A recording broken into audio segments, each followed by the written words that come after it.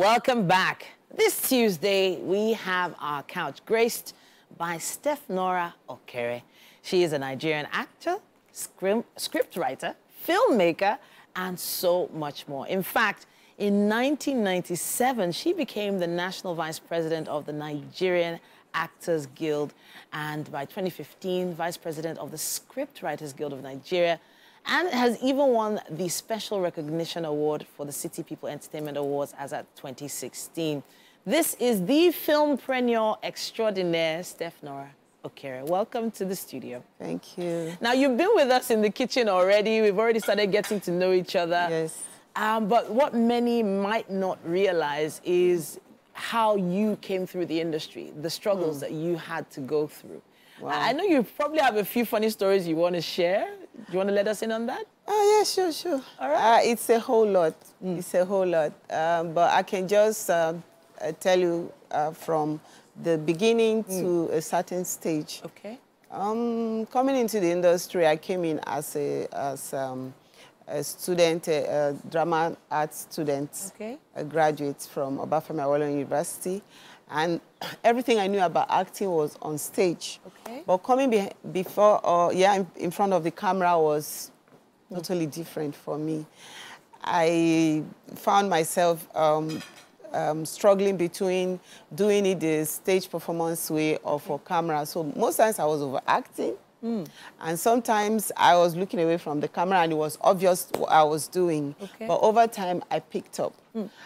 Um, my career kind of went up the ladder from one stage to the other. Uh, at the beginning, I was very eager. I wanted people to know me, to Yeah. see what I was doing. Although it didn't take quite long before I got that recognition. And we know you are one of the most recognized in terms of being a, a woman in Nollywood. Thank you. But that also comes with its pressure. Yes, it does.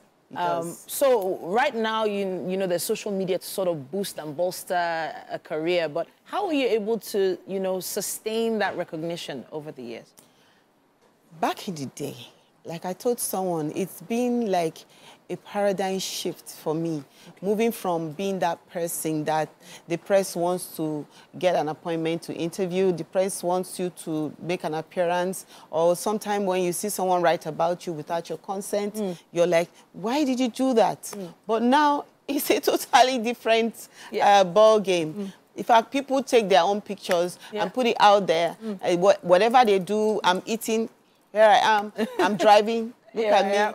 and blah, blah, blah. And if people don't even like or look at what they're doing, they're not happy. Mm. So it's a different, it was a different uh, environment for us then. Yeah. We knew that people were looking at us, so we acted and behaved in a certain way, Yeah. especially when you are in public. Of course. I. But now people don't seem to care. They just Yeah. want to let everything out. Yeah. And to me, it's coming hard to wrap my fingers around it. I actually, I have to appreciate you because you were trending when there was no social media. Yeah. Ah, yeah, but it, was, it was crazy. But then again, getting roles wasn't as easy because there was a lot of competition. A lot of competition, and you didn't have enough um, medium like people have TikTok right now. Yeah. They have their Facebook and Instagram where they Yeah. can just improvise something, Mm. and a producer can say, "Oh, I like that." Then you had to put up with a lot of other artists during an audition. Okay, You need okay. to put in your best. Yeah. You need to be sure that you're in the right mood. It was much more tasking. I'm not saying it's better now. Yeah. But uh, I can only say they have it easier now. Okay. Because back in the day, uh, you're put under a pressure. Okay. And most times, even because you did so well, doesn't mean you get the role. Wow. Wow. So Okay, so so I, I hear you wanting to, to talk about the real negative sides, but I feel like you're skirting over it just a little because there was so much in the industry. Like, for instance, family hearing that you were in the industry, there was some sort of stigma. uh, uh, well, not for me though. Okay. Wasn't stigma Okay. at all. But mm. the only thing is going back to university. Okay. My father thought I was actually doing law because mm. that's what mm. I said I was going to do. Oh, okay. So doing theater arts to him and to some members of my family were like, how are you doing theater arts? How are you going to get a job? Wow. Because then there was just new masquerade and village headmaster and maybe Wow. one or two ripples and co, you know. So, but the stigma of maybe you're an actress, you Yeah. have a lifestyle that is not okay. No, I didn't go through that. Okay. Not with my family. Okay. But of course, in the outside world, Yeah. we had situations whereby people see you for the role you play. Yeah. Back in the day, I've had experiences where a woman gave me a big slap on my back, like, you are the one. Wow. You're the one. What you did to your mother-in-law. Was that okay? You Wow. know, so, and I, I've been in a restaurant where a guy walked me out, like, you can't sit on that table. Wow. He indicted a man of God. Wow. I'm like, why did, when did I do that? I realized it's in a movie. Wow. So those challenges are there, but Goodness me. being stigmatized Mm. for being an actress, no. Okay, I'm I so glad to hear that. Uh, but you're not just an actor, you're also a filmmaker as well. Mm-hmm. And a know- writer especially. Writer. Okay. Um, in fact, you, you held some great positions in terms of the Screenwriters Guild as well. Yes, yes. There's a lot of uh, responsibility, you know, for a woman like yourself being in those positions. Uh, but now you have a, a movie coming out. Talk to Yes. us about this. All right. Um, I have a movie I wrote since, I started writing since 2011. Wow. Okay. Yes. And it took me till 2017 Okay. to be able to shoot it. That's how close it is to my heart. Wow. Uh, the movie is titled Roberta. Okay. Roberta envelops everything the average African or Nigerian young girl is putting up with. Okay. Most of them, not every, though. Sure. And um, this trend they are putting up with, this is it, it, it, it's kind of becoming a norm. And the society has, most times society looks at it and looks away. Yeah. Like, oh, it's there, it's there. But no, we need to deal with it because um, some of these young girls can do better. They can live better life. Mm. And they actually have dreams and aspirations that they want to achieve. So Roberta is a story of the challenge of the average African girl child. So now you said you started writing from 2011 till 2017. That's Yes. about six years, Yes. give or take. Yeah. And the situation of the average Nigerian young woman mm. has really changed or evolved fact- over the years. Yeah. But I mm. know there's still some things that stay the same. I feel like the story might have changed throughout the years, just a little. it, it only got more, um, what's the word, sophisticated. wow. You know, as the industry is growing, like this table right now, hmm. the model we had then, hmm. this model is more modern, more Yeah. cuter, Yeah. more mm-hmm. everything. Mm-hmm.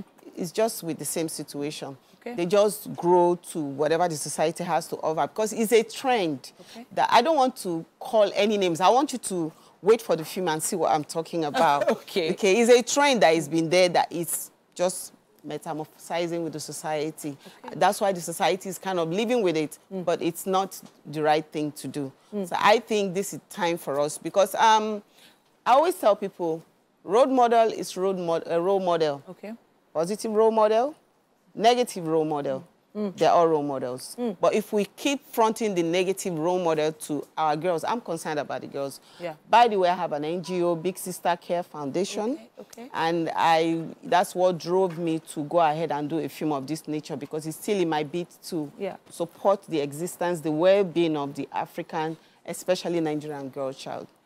And I have to appreciate you for everything you, you've put into this because I can hear the passion with, with Yeah, which I'm you're very talking passionate about about it. And it took so long to, to bring it out. Yes, it, it did until I got the support of Bank of Industry. I had to take up a loan Oh. Okay. to be able to shoot the film. Wow.